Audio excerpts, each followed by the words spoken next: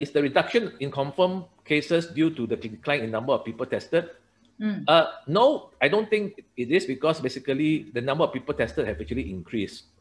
All right, we have basically uh, on June the num the, the data we have from June 3rd basically it has increased from uh, as I mentioned earlier from from three two point eight one per hundred thousand population in uh, in on May 27 to 3.79 per hundred thousand population in per thousand population on 3rd of June. So basically have increased.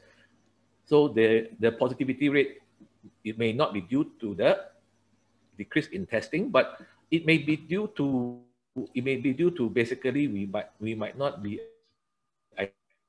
tested if we don't if we don't do a good contact tracing, then we would not catch the correct uh, people to tested and that so we cannot so a lot of these type of things we cannot basically, uh, it's not easy for us, uh, for the general public to understand. That's why a lot of these numbers are not not not being discussed uh, outside. So the fourth question is, based on the current daily data released by Mr. do you current daily data